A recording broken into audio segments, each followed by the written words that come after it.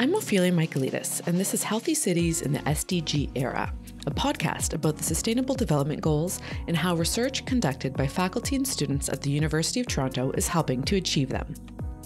We're recording from Toronto, or Tkaronto, which for thousands of years has been the traditional land of the Huron Wendat, the Seneca, and the Mississaugas of the Credit.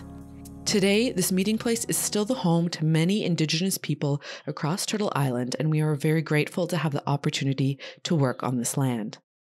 In this episode, we'll look into SDG 15 Life on Land. The goal of SDG 15 is to sustainably manage forests, combat desertification, halt and reverse land degradation, and halt biodiversity loss. According to the UN, forests are home to more than 80% of all terrestrial species of animals, plants, and insects. Anthropogenic drivers have altered almost 75% of the Earth's surface, impeding on the natural balance of ecosystems, leading to increased risk of zoonotic disease transmission.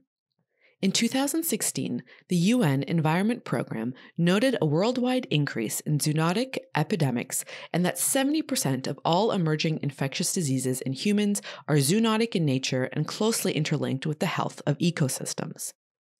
In an effort to address and reverse the degradation of ecosystems worldwide, the UN launched a Decade on Ecosystems Restoration, a globally coordinated response focusing on fostering political will to re-evaluate and restore humankind's relationship with nature. In this episode, we'll speak with Dr. Samira Mubareka about influenza virus transmission and how it's intricately impacted by shifts in the ecosystem caused by anthropogenic drivers. She'll also share her suggestions regarding precautions we can take to avoid future pandemics. Then we'll speak with Isha Berry, whose research focuses on the intersection of human, animal, and environment health. She'll share her insights on socio-behavioral factors of zoonotic disease transmission and the importance of science communication in mitigating risk.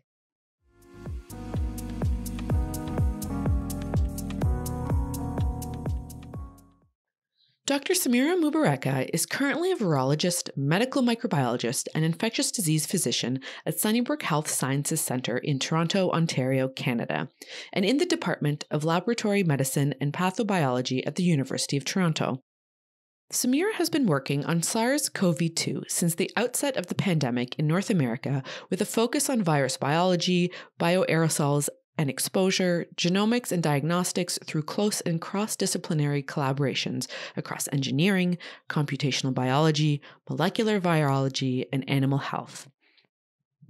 Samira serves on the Chief Science Advisor of Canada's COVID 19 expert panel, the implementation committee of the Genome Canada led Canadian COVID 19 Genomics Network, Virus Sequence Project, and the Ontario COVID 19 Science Advisory Table.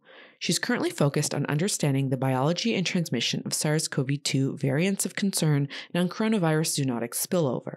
Samira holds an MD from Dalhousie University, completed training in internal medicine at McGill University, and specializes in infectious diseases and medical microbiology at the University of Manitoba. Welcome to the program, Samira. Thank you so much for being on the show. Thank you so much for the invitation, Ophelia. Please tell us about yourself and your research. Yeah, so I'm one of the infectious diseases physicians here at uh, Sunnybrook Health Sciences Center and a clinician scientist at Sunnybrook Research Institute, also at the University of Toronto. And our research, at least prior to the pandemic, was really focused on influenza virus transmission. And of course, when the pandemic hit, um, we really started working intensely on SARS coronavirus two. From the same perspective, really around transmission, um, and we started exploring uh, transmission also between species. That's fascinating. Um, given the work that you do, I was hoping, Samira, that you could comment a little bit on how perhaps biodiversity or the health of ecosystems um, relate to the emergence and the spread of zoonotic diseases. And, you know, in your uh, research, what do you see as needed uh, to better understand this relationship? Yeah, so it's becoming a really pressing question for a number of reasons. And I think probably the most obvious one is that there are human drivers of what we call disease emergence or spillover. So that's when a pathogen, it could be a virus or a bacteria or a parasite, spills over from one species into another. And a lot of these drivers are what we call anthropogenic. So they're human drivers. They're behaviors that humans have, have, um, have been doing that change biodiversity. And I know people have probably heard a lot about that, but are maybe a little bit less familiar with how that actually impacts zoonoses. So really part of the um, I think one of the key concepts is to think about where these viruses live, right? A lot of zoonotic viruses, so zoonotic viruses and zoonotic pathogens, by definition, are pathogens that are transmitted from one species to another. Often we refer to animal to human, but also there are plenty of examples of human to animal as well. Um, and obviously in between different species of, of animals. And when you disrupt the natural balance in a given ecosystem, you also disrupt viral habitats, right? So that could potentially expose vulnerable or susceptible populations to pathogens they've never been exposed to before. And when we think about things that jump from animals to humans, we call that interface the human animal interface. So, just as an example, uh, land development projects bring people closer to viruses or bacteria that they normally wouldn't be exposed to. And sometimes that gives those pathogens an opportunity to adapt to a new host, i.e., the human host. Thank you, uh, Samira, for that explanation and for providing more of an ecological framework for understanding uh, infectious disease transmission and, of course, the role that humans play in this dynamic. It's clear from what I'm understanding from what you've shared is that the drivers for zoonotic disease spread um, include changes in these viral habitats and these climatic conditions, these variability in these habitats. I'm curious to explore the drivers drivers or the anthropogenic drivers of these processes and changes a bit further, perhaps using an exemplar um, from your work. As I understand, you do work on arbovirus and orthobunya virus transmission in the context of climate change. Um, with that in mind, what type of environmental factors uh, drive transmission of these viruses? Yeah, so that's one of the things we're hoping to understand. Orthobunya viruses are a little bit cryptic. People haven't heard of them, I imagine. So, although they're from a completely different viral family, you can maybe think of them as similar in some respects to West Nile virus, for example. So, it's also transmitted by a mosquito. In the case of West Nile virus, these are endemic mosquitoes that that um, that have been long established here in Canada. Um, and it can also cause encephalitis in humans, um, much like West Nile viruses. So they're what we call neurotropic. They like to cause neurological disease. The other similarity in some respects is that there are also animal species that are susceptible to these viruses, but these species are different. So in the case of orthobunya viruses, and they all have really neat names like Cache Valley virus and Jamestown Canyon virus and snowshoe hare virus. Um, and so they can infect animals, um, obviously, as the snowshoe hare virus name implies, but specifically, they can also infect small ruminants. So these are sheep and goats and can cause fetal malformation. So not only can these viruses be important to human health, but they're really important to animal health as well. And because they're transmitted through mosquitoes, any of the climatic conditions that um, enhance mosquito population, enhance feeding behavior, reduce incubation times for the viruses, um, can really enhance the spread of the virus. Now, of course, this is what we're studying. We haven't shown this yet, but that, this is really the working hypothesis. So to be a little bit more specific, what, what we anticipate is that as our winters become shorter and warmer, as our summers become longer and warmer, that allows a number of conditions um, to re- that really are optimal for viral transmission. So, for example, um, larval development, so mosquito larval development under those conditions is is faster, more abundant.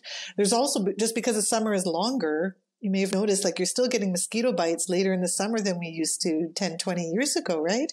So that really just enhances the seasonality or the transmission period. Um, for some of these viruses.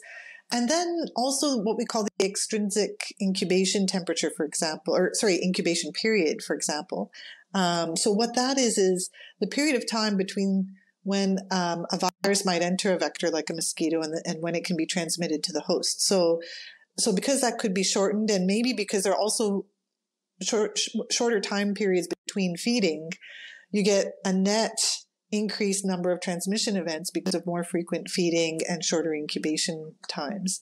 So all of those things that are are linked to enhanced mosquito survival and activity can also in, potentially, hopefully, we'll, we'll find out with research, not not just that we're doing, but many others as well. Um, that hopefully we'll we'll find out whether or not some of these drivers are indeed at play. Um, and, you know, we're, our particular Orthobunya project is really focusing on viruses that are endemic here to Canada. We're not talking about tropical or exotic viruses, but I think we're, we all know that some of these exotic mosquito species, so a lot of the same climatic factors that enhance Canadian or, or native mosquito species to thrive can also enable um, exotic mosquito species to become established. And those species of mosquitoes um, can harbor new pathogens. So ones that are not currently endemic in Canada. So think about dengue, think about Zika virus. So obviously we need to do surveillance not only for the mosquitoes that can harbor those viruses, but for the viruses themselves. Mm-hmm. Samiran, listening to you speak, it's obvious that there are so many variables um, that go into these dynamics. Um, you know, when it comes to virus um, existence in our natural world, how they spill over into human populations, how they affect human health, etc., um, and certainly requires a very broad understanding of infectious disease transmission that is very closely linked to our ideas and concepts around planetary health. In thinking about this, I'm curious to know um, some of your reflections and learnings from um, of or of this research to the COVID nineteen pandemic that we are still very much living in these days. Um, in, in thinking about your research and COVID 19, what are some precautions or actions do you think that we could take, you know, on a local, national, even global scale to avoid similar situations um, from arising in the future?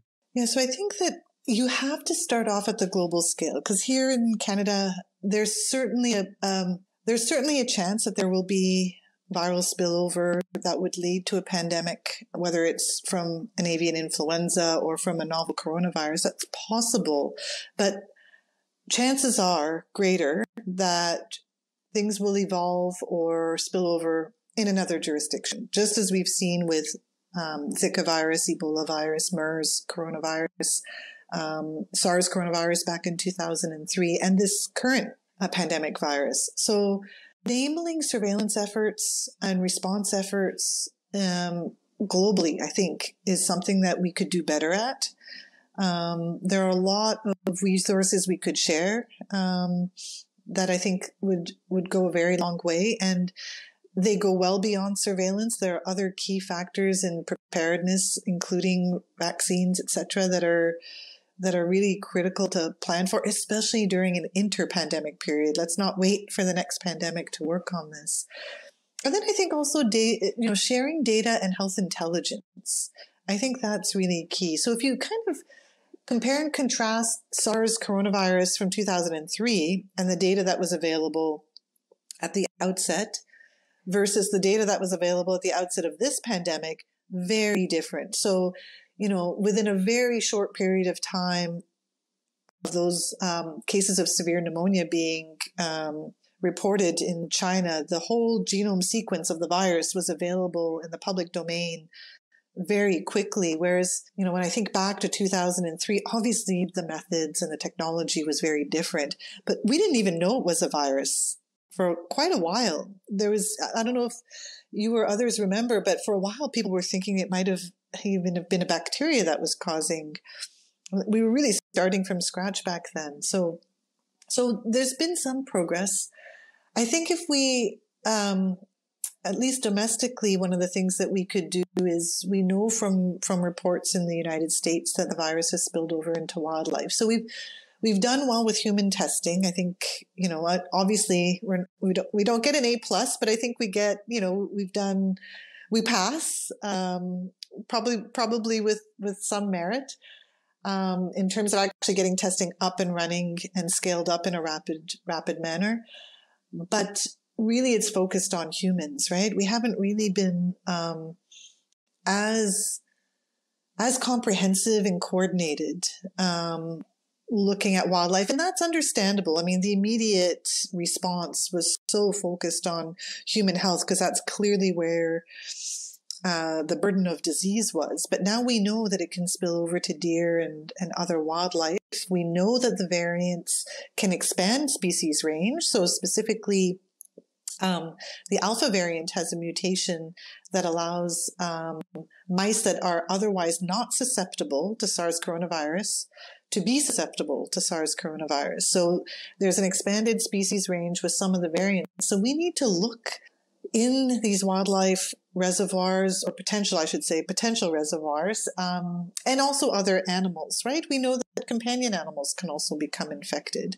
We know that zoo animals can become infected. Um, and we also don't know the implications for animal health either.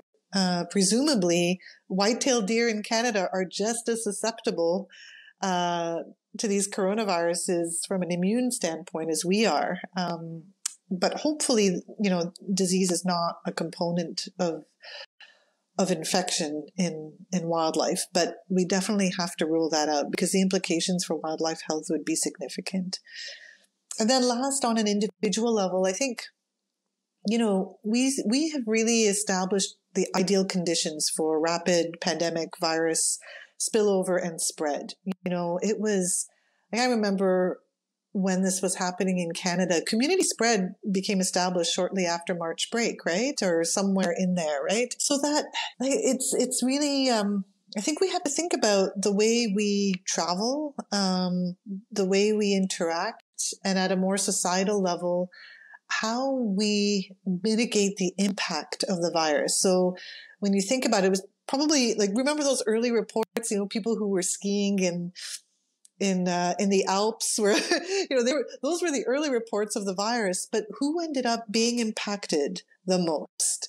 It was essential workers, um, vulnerable populations who perhaps were underrepresented and underserved by the healthcare system and, and other systems. So, you know, we have to look at those underlying factors and make our society more resilient to the impact of of these pandemic viruses so that you know not if when they come we don't see so much disproportionate devastation i think that, that those are some of the things we should think about in the coming months to years Mm-hmm. What what strikes me um, in listening to you speak is while yes, you know, biological and technical knowledge are certainly needed to control the spread of infectious disease, there are just so many additional requirements to controlling disease spread that go beyond surveillance, as you mentioned, but include things like political will and financial resources and equitable responses, coordination, information sharing, and the list goes on. Um, Samira, I, I want to thank you so much for sharing some very profound reflections on our relationship with the microbial world and how we could and should continue to broaden our understanding of health as it relates to humans, microbes, uh, animals, and uh, the environment. I want to thank you very much for being on today's episode. A pleasure. Thank you.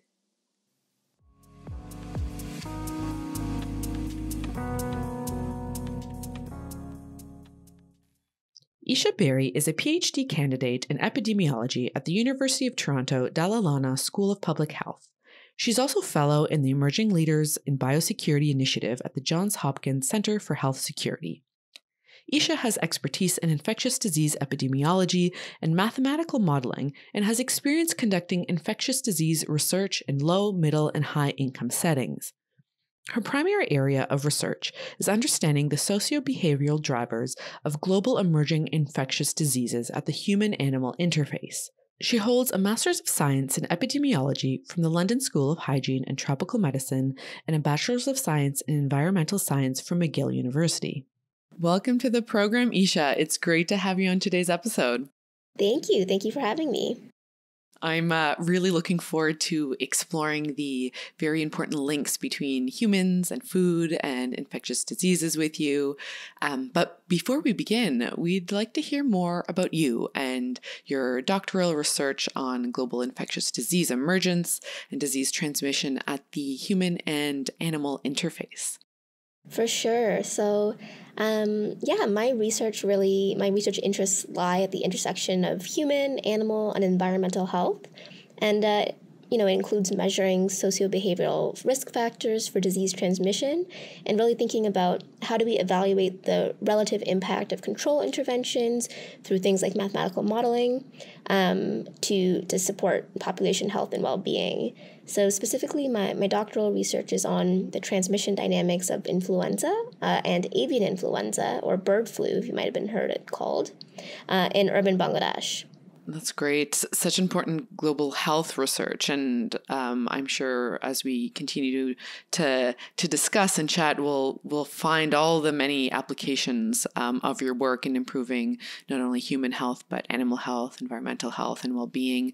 Um, but before we proceed, I, I did want to situate our discussion today within the context of SDG 15, um, which we are discussing today, and I was hoping we could start by having you explain what the one Health framework is and how it informs your approach to conducting research. Totally. Yeah. So I'm actually um, excited to talk about One Health. So I conduct all of my research using a One Health framework, um, which is a collaborative research approach that brings together multiple disciplines working locally, nationally, and globally to really obtain and um, support optimal health for people, animals, and the environment. And so, you know, as I kind of mentioned, my research is on disease transmission at this hum- human animal interface. So, using this approach allows me to ensure that data and expert opinion can really be brought together from multiple sectors and that we're identifying relevant problems and really working together to come up with um, important and sustainable solutions. Thank you, Isha, for explaining this. And, you know, what, what strikes me in listening to you is, you know, although I think scientists have noted you know similar disease progressions in animals and humans for for many centuries.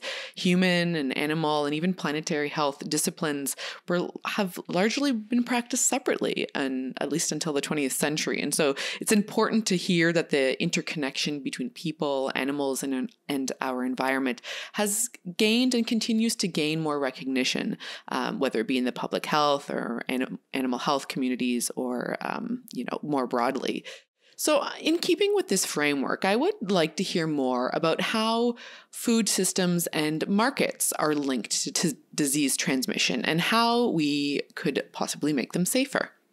Totally. And I think it's, you know, you brought up such a good point about how these sort of have been working in silos, but really when we think about health and well-being, it's a, it's a really holistic approach. Um, and so, yeah, live bird markets or live animal markets um, are really important human animal interfaces. Um, and they can be a risk or a spot for emergence and spread of infectious diseases. So, for instance, in my work in avian influenza. And really, you know, these markets are common across the world. Um, and I would say maybe more so, or particularly in areas where refrigeration, for instance, may not be accessible or reliable. Um, but also, you know, there's really different cultural practices across the world in our attitude and relationship with our food system. So, you know, for instance, in North America, um, this is quite different than in other places, or in Europe. Um, than maybe in other places around the world. And um, that really affects how and where we get our food. Um, and at the end of the day, you know, we're not within disease transmission, within understanding the links between food systems and disease transmission.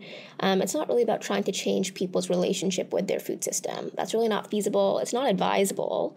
Um, but it's about recognizing that food systems all over the world, including, you know, in Canada, you know, we have swine farms here, we have um, poultry farms here, um, are areas for disease transmission and, and zoonotic, so uh, infection, which means diseases that can transmit from animals to humans.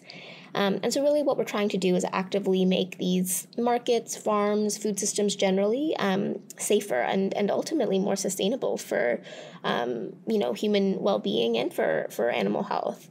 Um, and then sort of touching on your second point about safety and, and how we actually do that and, and bring that about, I think um, you know, there's there's so many different ways, and there's been huge improvements in the field since um, the big, you know, since it started becoming industrial industrialized. But I think some of the things that we can do include um, improving sanitation practices, separating different animal species out so that they're not all in one spot, um, thinking about vaccination.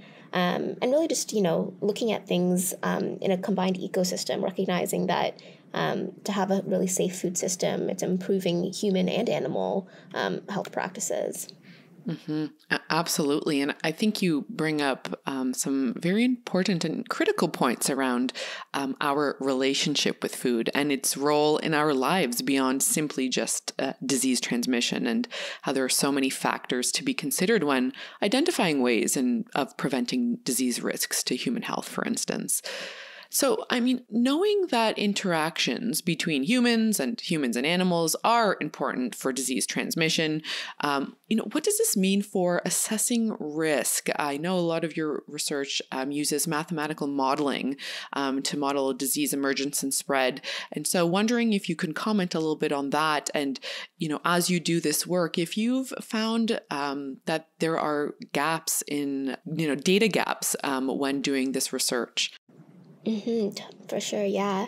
So, um, you know, knowing these interactions and, and seeing what that means for for disease emergence is still kind of tricky, right? So, you know, we can we really can't predict when a novel disease is is going to emerge. So we've really developed our understanding as a scientific community on what factors contribute to disease emergence. So things like high animal diversity, population growth, um, and uh, deforestation, environmental encroachment, things like that. But we really don't actually know when that perfect storm is going to come together and result in a new viral pathogen, for instance. So, um, so that's always difficult. And the other thing I think that's kind of hard and almost ironic about public health is that it's the science of non-occurrence right? So exactly. Exactly. So so what that really means is we can't actually assess how many things we've prevented through our improved biosecurity practices or prevention measures. Um, and so kind of touching on your question about modeling and, and why it's used and how we use it and the data gaps that exist um, so, thinking about all of these questions and all of these uncertainties, we really use these models um, and we rely on, on data to support these models to get an understanding of what could happen and what are the different scenarios that may occur and what's the uncertainty around all of them. Uh, and actually, it's, you know, it, really comes down to uh, even with the best data that we have, there's always going to be gaps. So, mm-hmm. so for mm-hmm. instance, yeah, like for instance, some of the gaps um, are that we don't actually know a lot about um, how humans react to everything. Um, and I think this year has been a case in point of that. So, um, for instance, if we think about novel disease emergence, we might be able to build a model that can help us identify, you know, what are the what are the what are the factors that might help us predict when a, a novel disease might emerge. But if it does emerge, it kind of matters where it happens. If it happens in a urban area, then maybe um, you know that person might have a lot of contacts, and that could spread a lot faster than if it happened in a rural area at where you know maybe a person is not as well connected. Or what if it happens to an index patient that doesn't have a lot of contacts, it tends to stay home, um, versus someone that's you know always out in the town. So there's a lot of uncertainty when when we think about new diseases and just general disease emergence. Um, and i think we can think about um, our our last almost two years of covid and thinking about how um, you know this data on human mobility and um, human reactions to um, large events uh, we can we have some idea of what people will do um, so, you know, when we have a lockdown, we know that people are going to stay home. But what about in this gray period um, where things are opening? Will some people feel comfortable going back in? Will some people not? Will everyone feel comfortable going back in? So, there's a lot of this, you know, realistically it's a mix of all of this we don't know the exact proportions and and i think that comes back down to it's not necessarily a data gap it's just something that we're we're really constantly trying to improve and use new methods to try and improve that uh, uncertainty. Um, and, and, and it's why when you think of mathematical modeling, you sort of see a lot of different scenarios and plausible ranges and options um, to capture the fact that there is actually just a lot of uncertainty um, to, to some sometimes things that uh, we really want a real answer to. Mm-hmm. I can certainly appreciate the complexity and and really recognition of the uncertainty in all of these processes. And you know, sometimes humans are don't deal well with uncertainty, and I think, as you mentioned, the last two years um, perhaps um, are indicative of some of the challenges around not knowing. Um, and we have these tools, but again, tools have limitations. And so it's you know we're constantly adapting and, and emerging together as we find you know as we discover new data new information. Um, so in in thinking about all of this you know how can we do better? I understand you're a big advocate of community outreach and science communication. I mean from your experience what what is this? Why are these elements so important in terms of addressing zoonotic disease emergence, in, in your opinion? Mm-hmm, yeah. Um, so I think science communication and outreach is is so important. Um, and at the end of the day, you know, public health is really meant for the public. Um, it's what we're doing. It needs to be understood by the people that are going to be benefiting from what we're doing. Um, so science outreach is really really important, and communication, science communication, in ensuring that what we're you know, learning, researching, finding out can be applied and used to improve population health and well being um, by everybody. And so, so for science communication and I think being able to communicate uncertainty um, is is really difficult. Uh, and I think a good analogy here is um, when we think about weather forecasting, for instance. So yeah, like when we when we think about weather and the weather community has relayed information to the public, it's changed a lot over time. You know, on the news, we don't really hear someone saying, well, the you know the weatherman, the weather woman, the weather person saying uh, there's an X percent drop in barometric pressure. You know, th- they'll explain it. They'll say blank blank faces if, yeah, it, if they did. totally. You know, you'd be like, okay, cool. Um, so you'll hear something explained as we have an X pressure system moving, which means that you can expect heavy rains this afternoon. This could result in high winds, enough to knock over a garbage can. You know, that painting that picture is science communication. Um, and I think that's kind of the essence of um, what I hope and I, I think is a growing change in um, mathematical modeling and in science communication for disease transmission dynamics. Um, and the, the pandemic has really exemplified this, and I think it has a, an important role moving forward um, as well. So, so when we think about you know someone showing some models and saying you need to reduce your contacts by twenty percent, I don't know. I don't. I don't think that is the most interpretable, right? Um, but if you kind of say to someone, well, Model X assumes that everyone's going to work five days a week, and you can see in Model Y, if we assume 20% reduction in contact, so for instance, dropping your in person work days from five to four days a week, you'll see this percent reduction in cases. That, that painting that picture using everyday um, context is so important in science communication. And I think um, that's kind of why I really like it. And I, I think it's so important to our roles as scientists. But also, it doesn't have to be one person's job to do everything. You know, the same person building the model may not be able to then also explain it in abstract terms for a general audience.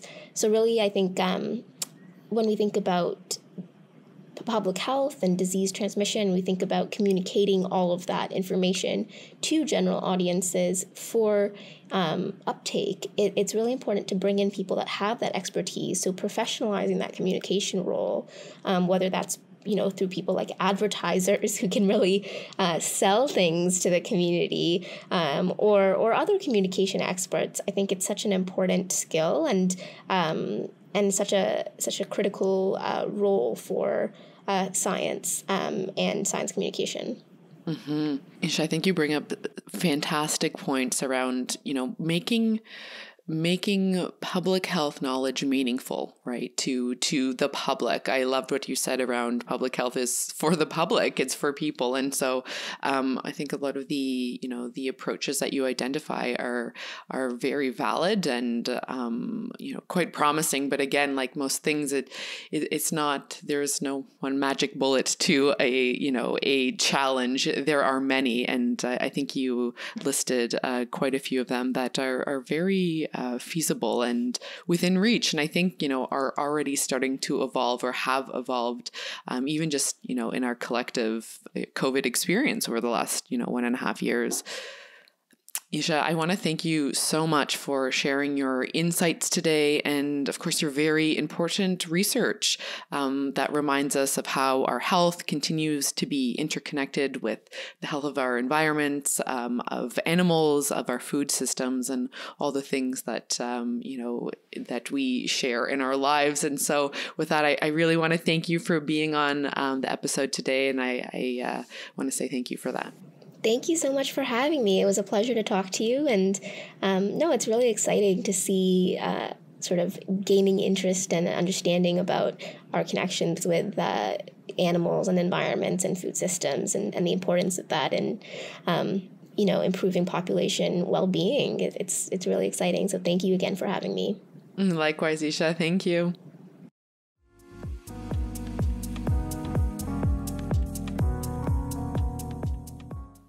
The conversations with our speakers today have shed light on the intricate relationship between our changing ecosystem and the increasing emergence of transmission of zoonotic diseases. Dr. Mubareka highlighted examples of how human drivers are largely behind zoonotic disease spillover and in the increasing importance of emphasizing the human animal interface in research. Her research anticipates that changing climatic conditions will become more and more favorable for facilitating viral enhancement through changes in the ecosystem. Enabling greater surveillance and public health response efforts on a global scale, along with sharing data and health intelligence, is necessary to mitigate future risk. Our discussion also focused on acknowledging that although we can't predict what a novel disease will emerge, we can address risk factors that contribute to zoonotic disease emergence and transmission through sustainable means. As highlighted by Isha Berry, it's important to recognize that food systems all over the globe are areas of potential zoonotic infection, and that the focus should aim to make these interfaces safer and more sustainable. Using approaches like the One Health framework can support optimal health by incorporating expert opinions from different sectors to identify relevant solutions. Furthermore, effective science communication is an important tool for translating data trends into actionable solutions for the public.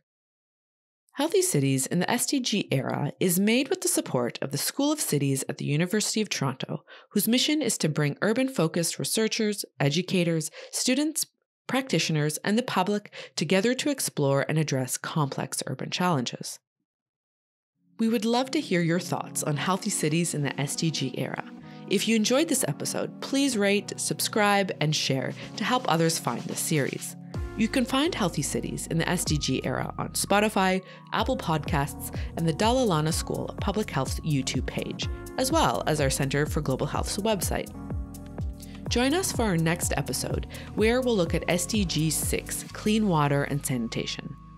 Thank you for tuning in, and we look forward to speaking soon. Take care.